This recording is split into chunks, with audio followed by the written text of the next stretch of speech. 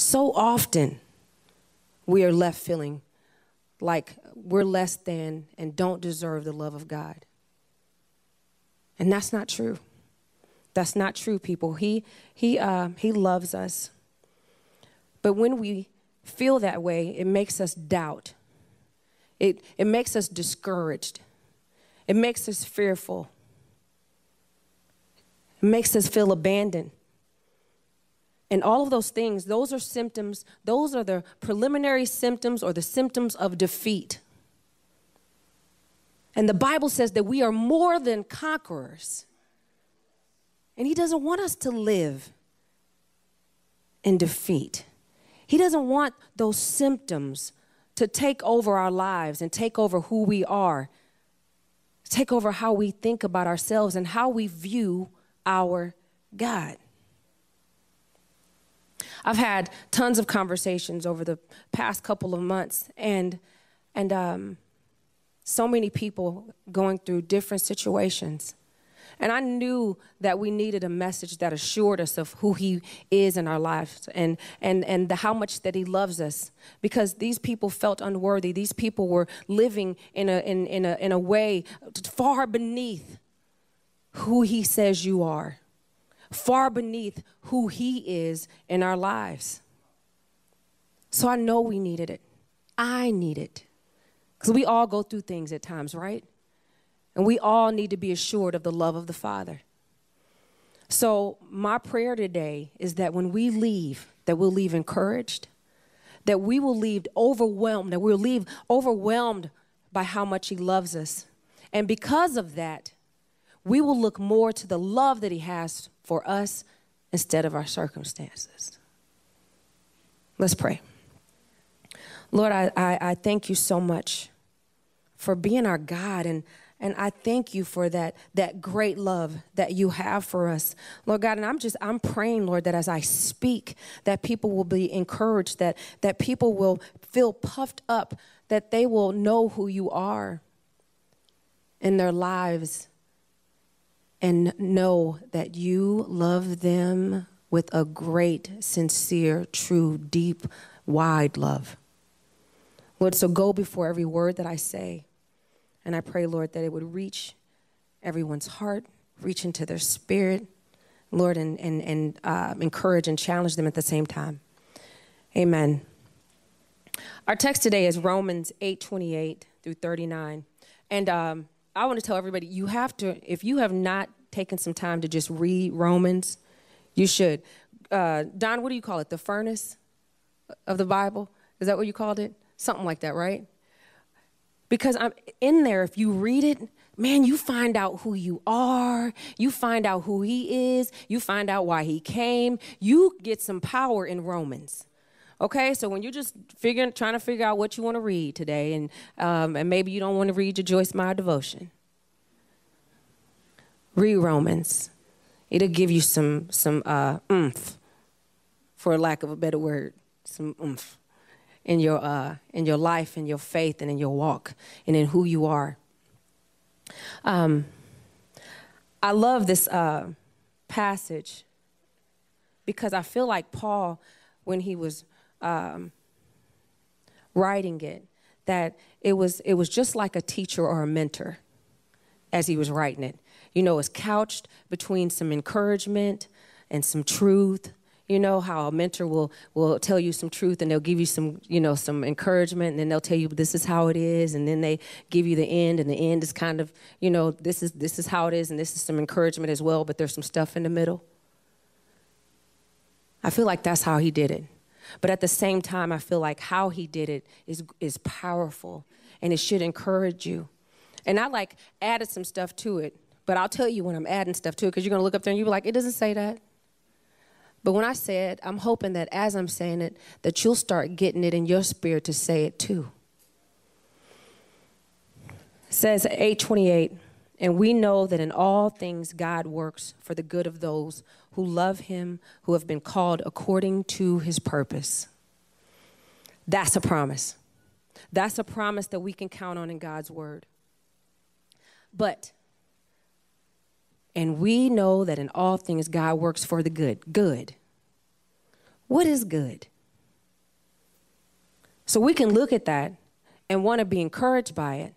But at the same time, if you walk away thinking that all things work for the good and you feel a little bit discouraged because you're like, it didn't work out for the good, the good that I thought.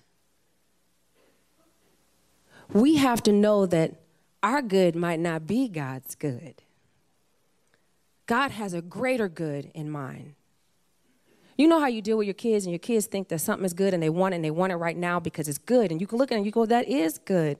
But I can see a little bit further down the line and how that will impact you, how that will impact others, what that can do to your life.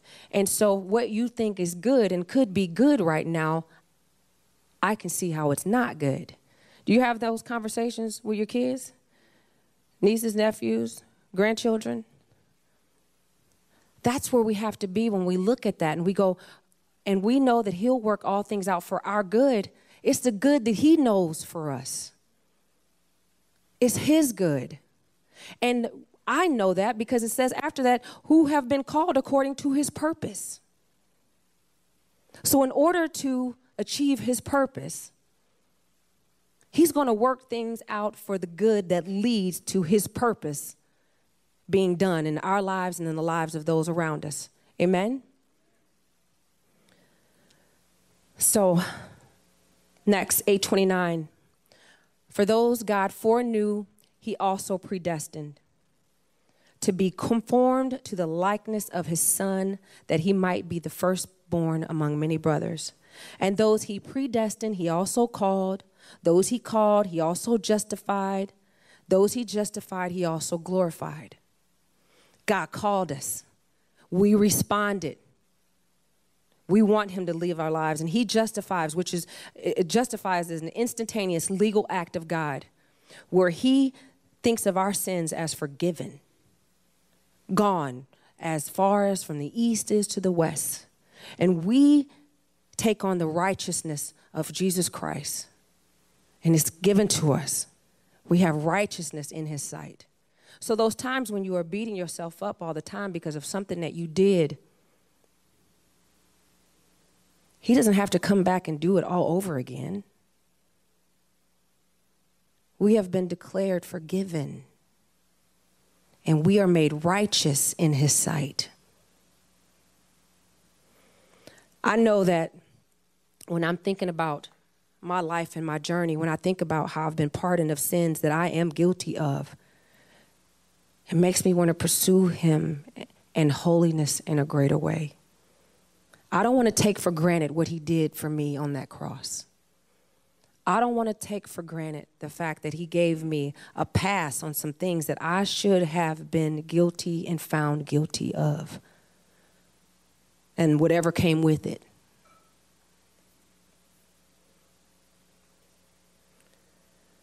Eight thirty one. What then shall we say in response to this? If God is for us, who can be against us? So he was telling us who we are. want you to know who you are. I want you to know what God did for you. I want you to know that that you've been justified, that that you are, are no longer a slave to sin, that you have been made righteous in his sight. So what then shall we say in response to this? If God is for us, who can be against us? This is a powerful statement of God. It's clear, it's direct. Who can be against us? But my question to you is where do we get tripped up on it at? Do we wrestle with if God? Do we wrestle with that as believers? Do we struggle knowing that He's there for us no matter what? Because we're still living in shame. We're still living feeling condemned. Do we wrestle with the statement at all? What then shall we say? If God is for us, who can be against us? Is that one of those statements that remind us that we probably are going to have somebody against us? So we kind of offended by the statement anyway? But it's to tell you who can stand against you if God the Father is your creator and has justified you. Who can stand against you? And in the next verse, it's like he wants to continue to empower you with more information and more truth. And this is where I'm going to start nenanizing it. Because I feel like there should be some stuff in, in, in, in front of it. So for 832, I feel like it should say, and as a matter of fact, you know how you're telling somebody something and you really want to tell them the truth and you really want them to understand, and you like, look, as a matter of fact, this, that, and the other. As a matter of fact, he who did not spare his own son, but gave him up for us all, how will he not also, along with him, graciously give us all things? God did not spare his own son when we were enemies. We were enemies, not friends. In him giving us what he gave us, we know, we have to believe that he will do everything, everything to finish the work that was done on the cross. So it should assure us, it has to assure us of his promises. It has to assure us of his presence. It has to assure us of his love. It has to. He gave his only son. He did not spare his own son. The next verse. And as a matter of fact, who will bring any charge against those whom God has chosen? It is God who justifies. He's telling you this over and over again. It's for a purpose, it's for a reason. So let me speak to your self talk. You catch it? Let me speak to that inner talk, that inner voice that's telling you some condemning stuff about yourself let me speak to the people who condemn you. Let me speak to the people who persecute you. That's what he's saying. It's God that justifies. So before you start talking to yourself about how bad and unworthy you are, before you listen to someone tell you that you're not good and you're not right, it is God who justifies. Some of y'all need to walk away with that. I needed it. I needed it. And I have to remind myself when I'm telling myself something, shut up, Nina. That's not what God said. It's not what He said. And the reason why is because whatever He is charging us with, anyone, and whatever we're charging ourselves with, being justified says, I made that right. I made that right.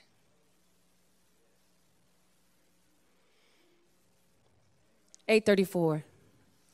And as a matter of fact, who is he that condemns? No one.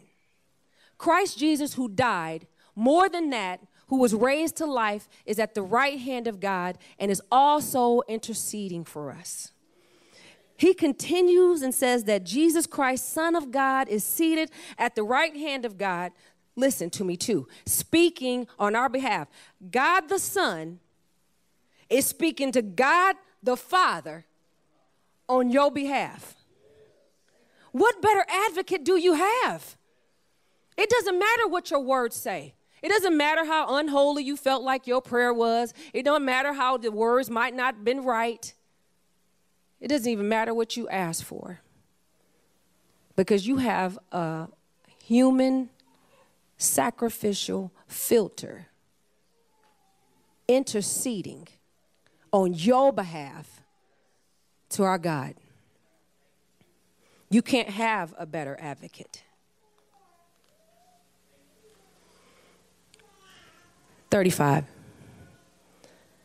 And as a matter of fact, who shall separate us from the love of Christ? Shall trouble or hardship or persecution or famine or nakedness or danger or sword?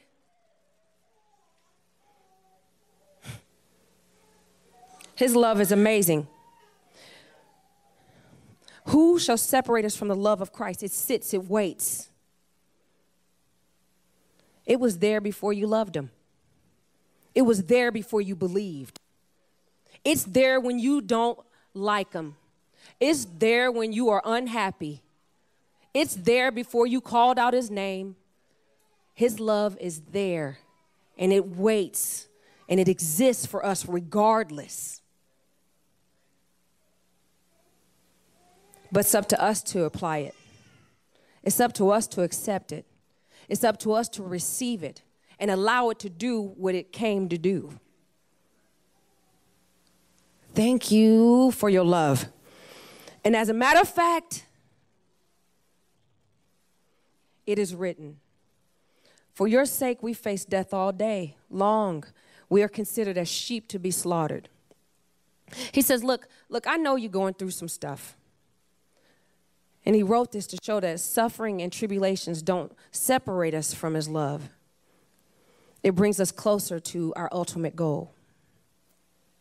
In your relationship, what does the counselor or the pastor or your friend tell you about suffering in your marriage? Every time you go through some challenges, it strengthens your relationship. Isn't that what they say? Isn't that the case? Every time we get through some, some mountains and some valleys, our relationship on the other side comes out stronger. And it's how we know that we are in this relationship working together. So we can't have love, the love of God, without some tribulation because that's what relationships are. Our marriages are the closest thing to, to, to, um, to show us what the relationship with the Father's like. So, as we work together through trials and tribulations, through good times and bad, for better and for worse, we enter into relationship, and that's how we enter into our relationship with Christ. So, when you are going through something, you are in the thick of it, your relationship with Christ. You are entering into that relationship with Christ. You are in the ebb and flow of a relationship with your Heavenly Father, a loving relationship.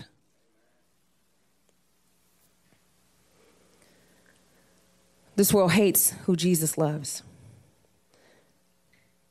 And so, since we've entered into that relationship, his friends will be our friends, and his enemies are against us too. John 15, 18, 20 reads This is Jesus speaking.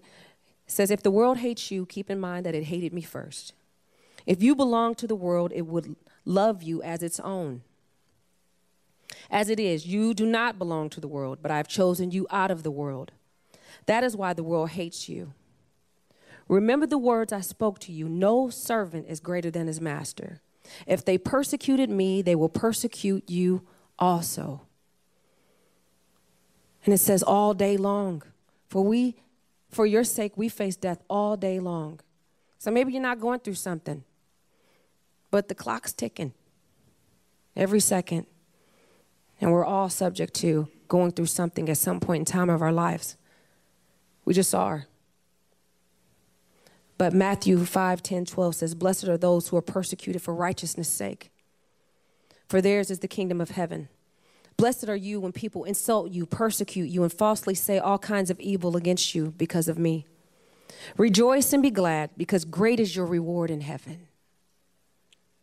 For in the same way they persecuted the prophets who were before you. And as a matter of fact, in all these things we are more than conquerors through him who loved us. Don't be afraid, don't get caught up in the fact that we enter into this relationship and suffering comes along with it. That's how it is. We can't take on his glory and not take on his suffering. We've already been set free. That would be taking it for granted, wouldn't it? And there's, by the way, in the New Testament, there's no shortage of verses that speak to suffering. So it's something that we're guaranteed. There's no shortage of verses. You will see that we not only enter into his suffering, but into his eternal glory as well. And as a matter of fact, For I am convinced that neither death nor life, neither angels nor demons, neither the present nor the future, nor any powers, neither height nor depth, nor anything else in all creation will be able to separate us from the love of God that is in Christ Jesus our Lord. Nor broke, nor unliked, nor talked about, nor envied, nor hated, nor sickness, nor floods. I'm Nina Nizing nor targeted, nor belittled, nor berated, nor attacked, nor nothing can separate you from the love of God. So whatever you're going through in your mind, whatever that is, that you is that's separating you, a person, someone talking about you, Someone belittling you? Someone making you feel less than? Someone taking from you something that is yours? Do you got sickness in your body? Do you have nothing in your pockets? Nothing, nothing, nothing, height nor depth, can separate you from the love of God. Nothing, nothing. Second Corinthians says, But we have this treasure in jars of clay to show that this all surpassing power is from God and not from us. We are hard pressed on every side, but not crushed, perplexed, but not in despair, persecuted, but not abandoned, struck down, but not destroyed. So, what are you facing today? Whatever it is, you're right in the thick of that relationship, the ebb and flow of your relationship with Jesus Christ, all his glory and some suffering. But that's how you know you're in that relationship. That's how you are assured of the love. I don't know how much my husband uh, loves me until I make it hard for him.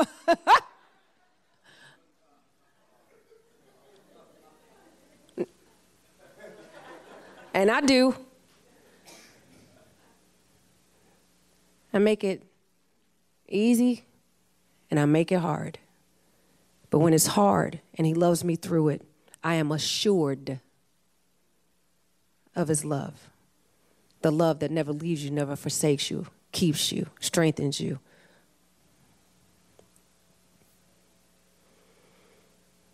We need to also know that we're going to have an ad we're going to have some adversity. But 2 Timothy says, everyone who wants to live a godly life in Christ will be persecuted. Comes with the territory. So dig in. You are in union with Christ Jesus, King of Kings, Lord of Lords. Which, when it comes down to, it, I was talking about my husband, but I'm like, ooh, that's a nicer, better relationship. That's a stronger relationship. That's a relationship that guarantees me victory right there.